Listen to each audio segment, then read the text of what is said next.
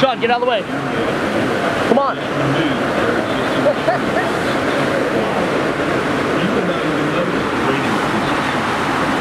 yeah, real great.